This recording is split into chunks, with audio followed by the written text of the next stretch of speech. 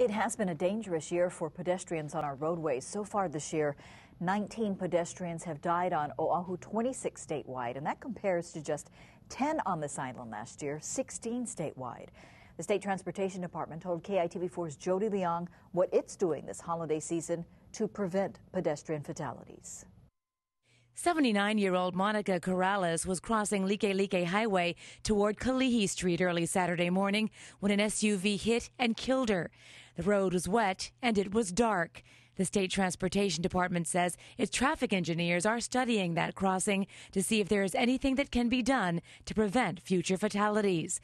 The DOT says there are several programs in place, like Walkwise Hawaii, that aim to educate both drivers and pedestrians. Um, and since that program has been in effect, we have seen pedestrian fatalities go down, except for this year. Walkwise Hawaii primarily targets elderly pedestrians, since statistics show more than 50% of pedestrian fatalities involve senior citizens.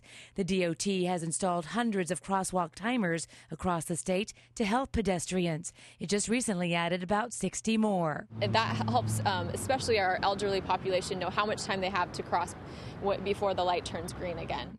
The DOT says it has increased signage, education, enforcement, and engineering to improve pedestrian safety.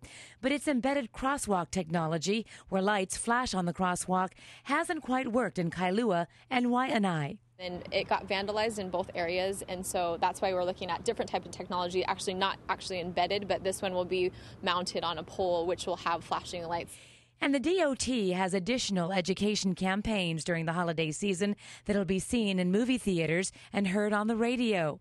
The DOT is providing the funding for an additional 52 DUI roadblocks, especially for the holiday season. Jody Leong, KITV 4 News.